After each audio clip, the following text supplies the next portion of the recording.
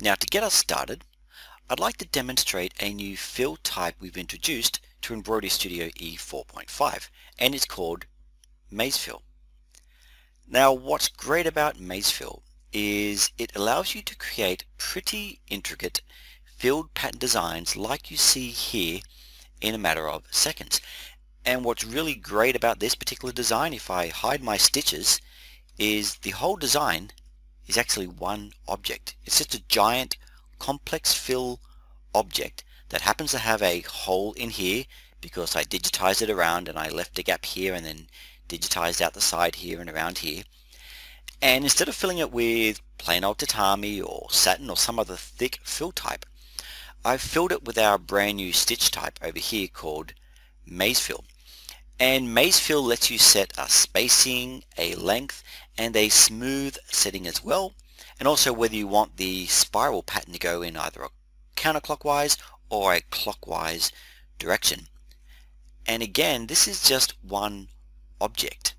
And what that means is if I do it in a slow redraw, is there's no trims. It does the whole entire design using a run style stitch method without stopping once, without trimming, without lifting that needle going through doing the entire design. And you can see as it's creating that design, it's building a really consistent spacing. Even though you can't fit a consistent spacing throughout this entire object because there's different thicknesses and different sizes, but the computer works it out really cleverly so it creates that visually almost uh, consistent perfect spacing. Now this method is commonly used in fashion style design work and it is great for large fill areas where you don't want to put in a lot of stitches.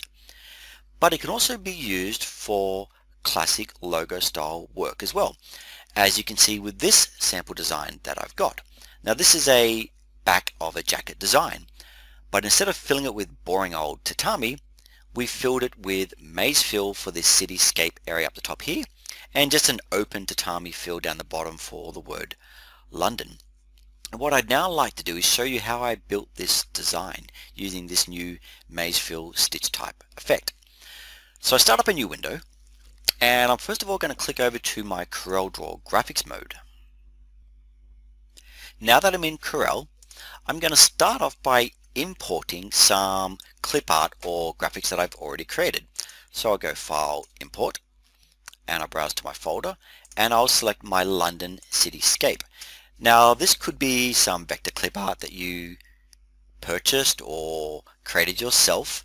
Um, in this case I've grabbed a whole bunch of different silhouette images and merged them together and built this solid single shape uh, vector uh, cityscape outline of, of London.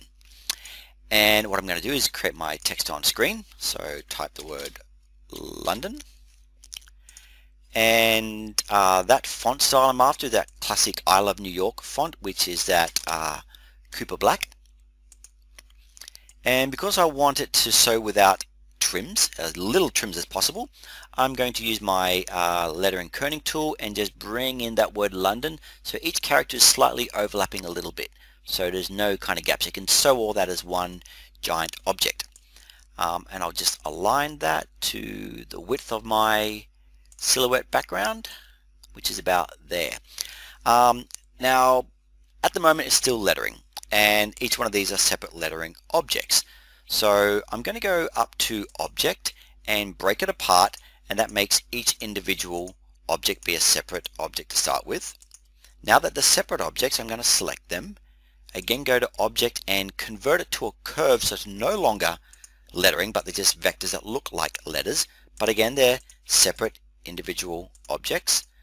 My last step is to select those individual objects and click the Weld tool.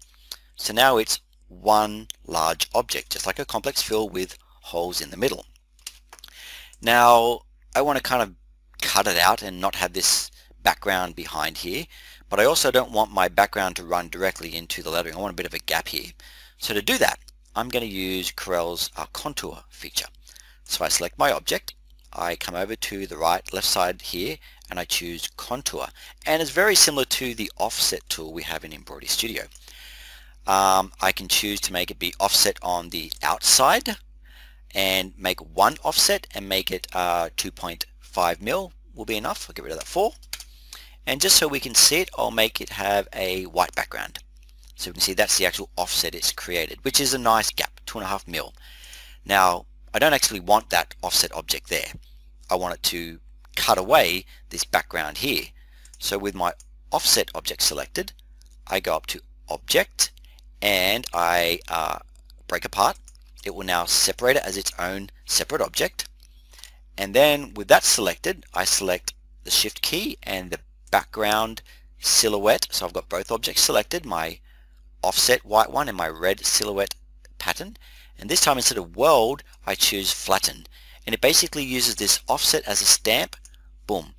And if I make that yellow so we can still see my offset there it is there but I've used it as a stamp and it's now cut away this vector background in here. So you can see it's no longer there which is exactly what I want.